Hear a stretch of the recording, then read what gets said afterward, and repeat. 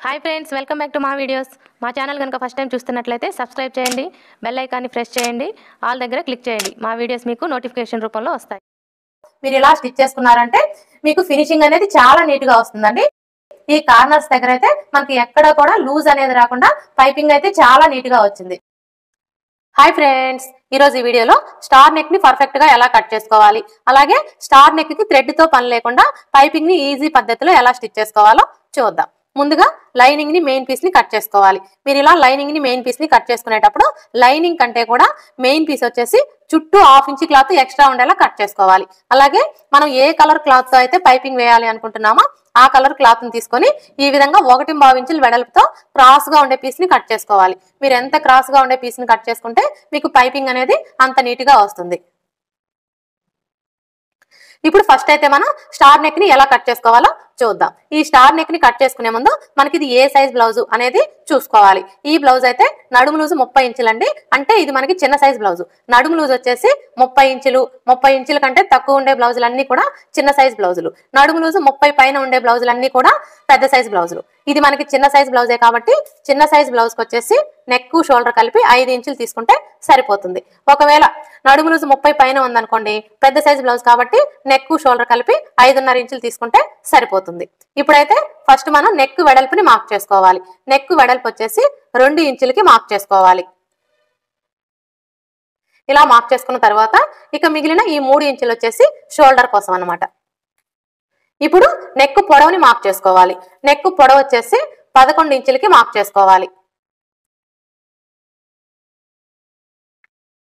ఇప్పుడు ఇదే పదకొండు ఇంచుల్ని ఇక్కడ కూడా మార్క్ చేసుకోవాలి.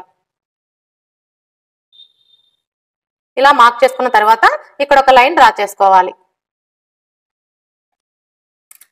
మీరు ఎప్పుడైనా సరే స్టార్ నెక్ని డ్రా చేసుకోవాలి అనుకున్నప్పుడు నెక్ పొడవు వచ్చేసి పది ఇంచులు పైన తీసుకుంటేనే మీకు నెక్ షేప్ అనేది నీట్గా వస్తుంది. అంటే పది ఇంచులు పదకొండు ఇంచులు ఈ టైప్లో తీసుకుంటేనే మీకు నెక్ షేప్ అనేది నీట్గా వస్తుంది. మీరు అలా కాకుండా స్టార్ నెక్ని డ్రా చేసుకోవాలనుకున్నప్పుడు నెక్ పొడవు వచ్చేసి తొమ్మిది ఇంచులు ఎనిమిది ఇంచులు అలా తీసుకున్నారంటే మీరు బ్లౌజ్ వేసుకున్నప్పుడు నెక్ షేప్ అయితే అస్సలు బాగా రాదండి మీరు ఇలా తీసుకుంటేనే మీకు నెక్ షేప్ అనేది నీట్గా వస్తుంది.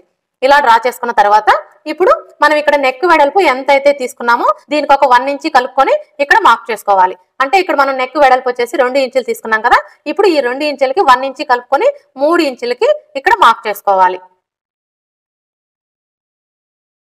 ఇలా మార్క్ చేసుకున్న తర్వాత ఇప్పుడు ఈ రెండు మార్కింగ్ని కలుపుతూ ఈ విధంగా ఒక లైన్ డ్రా చేసుకోవాలి.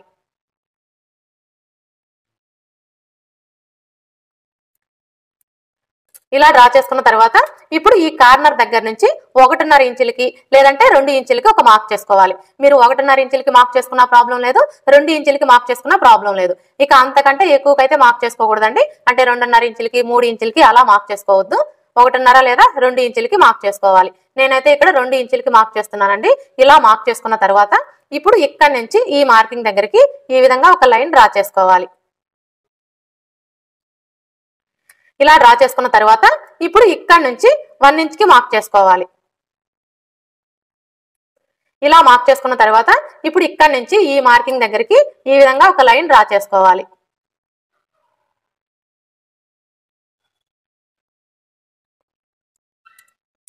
చూసారా? మీరు స్టార్ నెక్ని ఈ విధంగా అయినా డ్రా చేసుకోవచ్చు. లేదంటే ఇక్కడ కొంచెం కరువు షేప్ వచ్చేలా అయినా డ్రా చేసుకోవచ్చు. చూసారా? మనం ఇక్కడ ఏ విధంగా అయితే కరువు షేప్ తీసుకున్నామో అదే విధంగా ఇటువైపును కూడా తీసుకోవాలి.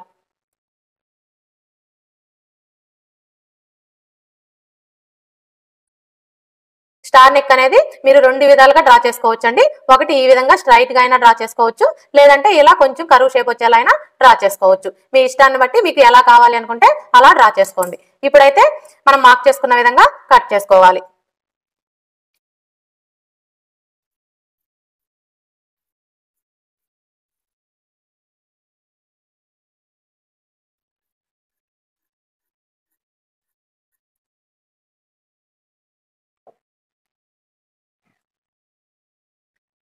చూసారా?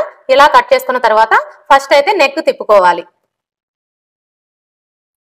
మనం నెక్ తిప్పుకునేటప్పుడు ఫస్ట్ మెయిన్ క్లాత్ని ఈ విధంగా పెట్టేసుకోవాలి. ఈ విధంగా పెట్టేసుకున్నప్పుడు మెయిన్ క్లాత్కి రైట్ సైడ్ వైపు వచ్చేసి పై వైపున ఉండేలా చూసుకోవాలి. ఇక్కడైతే మనం ప్లెయిన్ క్లాత్ తీసుకున్నాం కాబట్టి మనకి రైట్ సైడ్ రాంగ్ సైడ్ ఏమీ ఉండవు కాబట్టి ఎలా అయినా పెట్టేసుకోవచ్చు. మీరు తీసుకున్న క్లాత్కి వచ్చేసి రైట్ సైడ్ రాంగ్ సైడ్ ఉన్నాయనుకోండి ఒకసారి చెక్ చేసుకొని రైట్ సైడ్ వైపు వచ్చేసి పై వైపున ఉండేలా చూసుకొని అప్పుడు లైనింగ్ని పెట్టేసుకోవాలి. ఈ విధంగా లైనింగ్ని పెట్టేసుకొని అక్కడక్కడ పిన్స్ పెట్టుకోవాలి. ఇలా పిన్స్ పెట్టేసుకున్నారంటే మీకు స్టిచ్చింగ్ చేసుకోవడానికి ఈజీగా ఉంటుంది. ఇప్పుడు ఇక్కడ నుంచి స్టార్ట్ చేసుకొని నెక్ రౌండ్ చుట్టూ కూడా పావించి మార్జిన్తో ఒక స్టిచ్ వేసుకోవాలి.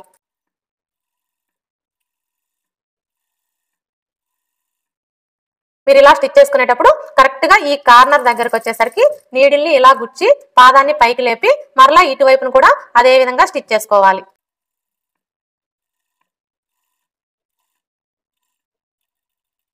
ప్రతి కార్నర్ దగ్గర కూడా ఈ విధంగా నీడిల్ని గుచ్చి పాదాన్ని పైకి లేపి క్లాత్ని మన వైపునకు తిప్పుకొని స్టిచ్ చేసుకోవాలి.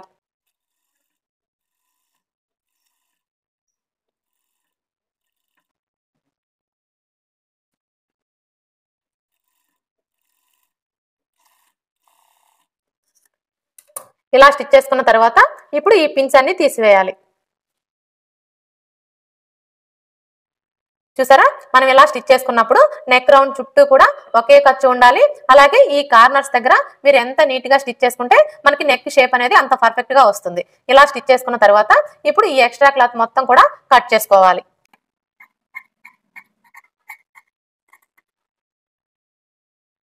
ఇలా కట్ చేసుకున్న తర్వాత ఇప్పుడు ఈ కార్నర్స్ దగ్గర ఈ విధంగా కట్స్ పెట్టుకోవాలి. మీరు ఈ విధంగా కట్స్ పెట్టుకునేటప్పుడు ఇప్పుడు మనం స్టిచ్ వేసుకున్నాం కదా ఈ స్టిచ్ అనేది కట్ అవ్వకుండా జాగ్రత్తగా కట్స్ పెట్టుకోవాలి. చూసారా? మనం ఇలా కట్స్ పెట్టుకున్నప్పుడు మరీ స్టిచ్ దగ్గరికి పెట్టొద్దండి. ఈ విధంగా కట్స్ అనేవి పెట్టుకోవాలి. ఇలా కట్స్ పెట్టుకుంటేనే మనకి నెక్ షేప్ అనేది నీట్గా వస్తుంది. ఇలా కట్స్ పెట్టుకున్న తర్వాత ఇప్పుడు ఈ లైనింగ్ని ఇలా ఫోల్డ్ చేసుకొని ఇంకొక స్టిచ్ వేసుకోవాలి. మీరు ఇలా స్టిచ్ చేసుకునేటప్పుడు మెయిన్ క్లాత్ మీద పడకుండా స్టిచ్ చేసుకోవాలి. మీకు ఫినిషింగ్ అనేది నీట్గా రావాలి అంటే మీ నెయిల్తో ఒకసారి ఇలా రఫ్ చేసుకుంటూ స్టిచ్ చేసుకున్నారనుకోండి మీకు ఫినిషింగ్ అనేది నీట్గా వస్తుంది. అలాగే ఈ కార్నర్స్ దగ్గరకు వచ్చేసరికి క్లాత్ అనేది ఫోల్డ్ అవ్వకుండా ఈ విధంగా నీట్గా ఫోల్డ్ చేసుకొని స్టిచ్ చేసుకోవాలి.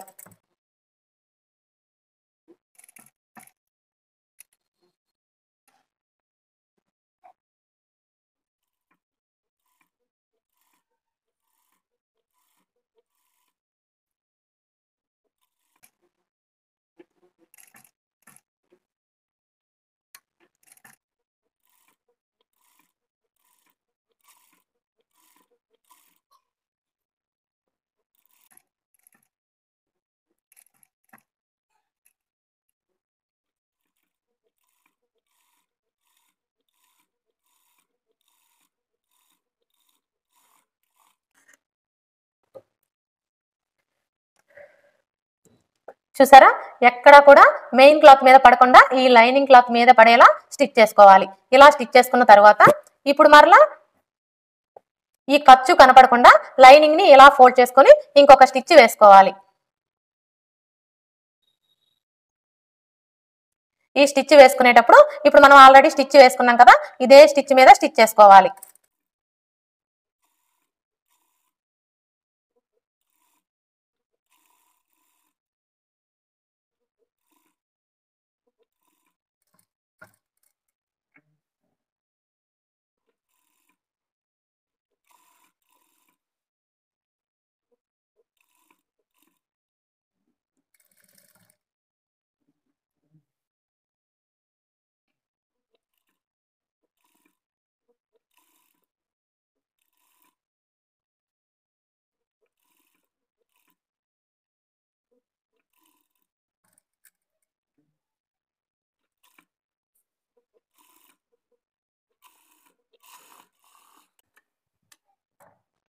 ఇలా స్టిచ్ చేసుకున్న తర్వాత ఇప్పుడు ఈ లైనింగ్ చుట్టూ కూడా స్టిచ్ చేసుకొని ఈ ఎక్స్ట్రా క్లాత్ మొత్తం కట్ చేసుకోవాలి. ఈ విధంగా ఎక్స్ట్రా క్లాత్ మొత్తం కూడా కట్ చేసుకున్న తర్వాత ఇప్పుడు మనం ముందుగా కట్ చేసి పక్కన పెట్టుకున్న ఈ పైపింగ్ క్లాత్ని తీసుకొని ఒకవైపున ఇలా ఒక పావు ఇంచి ఫోల్డ్ చేసుకొని స్టిచ్ చేసుకోవాలి.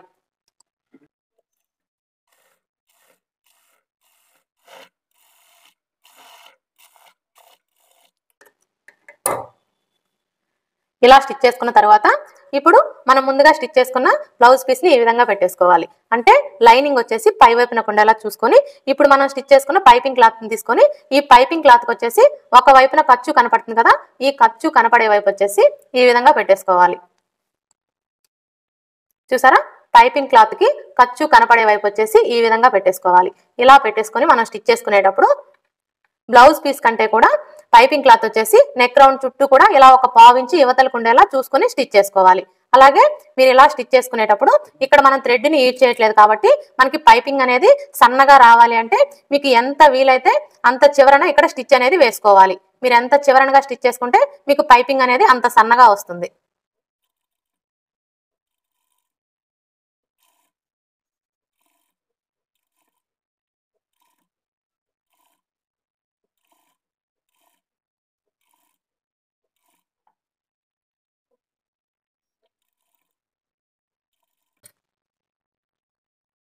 ఇక్కడ చూడండి ఈ కార్నర్ దగ్గరకు వచ్చేసరికి కరెక్ట్గా నీడిల్ని ఈ కార్నర్ దగ్గర ఇలా గుచ్చి పాదాన్ని పైకి లేపి క్లాత్ని ఇలా మన వైపునకు తిప్పుకొని స్టిచ్ చేసుకోవాలి.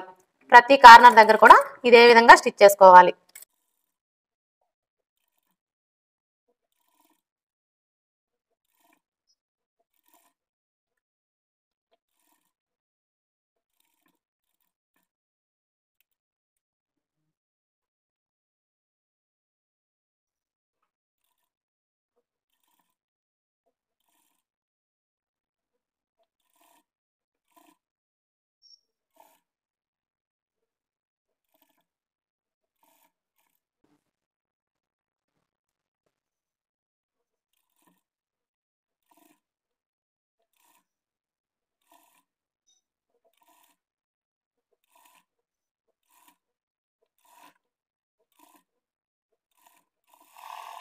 ఇలా స్టిచ్ చేసుకున్న తర్వాత ఇప్పుడు ఈ ఎక్స్ట్రా క్లాత్ని కట్ చేసుకోవాలి.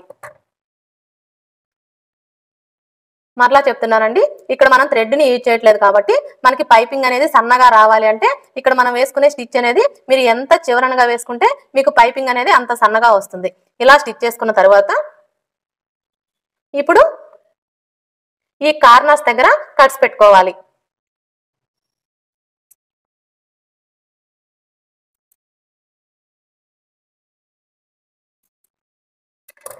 చూసారా? ప్రతి కార్నర్ దగ్గర కూడా ఈ విధంగా కట్స్ పెట్టుకుంటేనే మనకి నెక్ షేప్ అనేది నీట్గా వస్తుంది.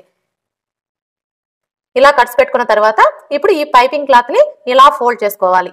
ఇలా ఫోల్డ్ చేసుకొని ఒక స్టిచ్ వేసుకోవాలి. మీరు ఈ స్టిచ్ వేసుకునేటప్పుడు పైపింగ్ క్లాత్కి బ్లౌజ్ పీస్కి మధ్యలో పడేలా స్టిచ్ చేసుకోవాలి. అప్పుడే మీకు ఫినిషింగ్ అనేది నీట్గా వస్తుంది.